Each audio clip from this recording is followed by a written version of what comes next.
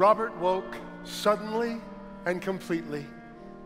It was four o'clock, the hour when his father had always called him to get up and help with the milking. That was 50 years ago.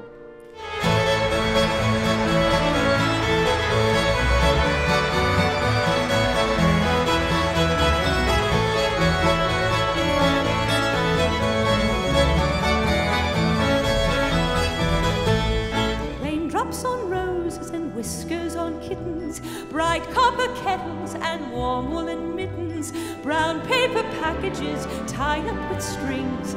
These are a few of my favorite things.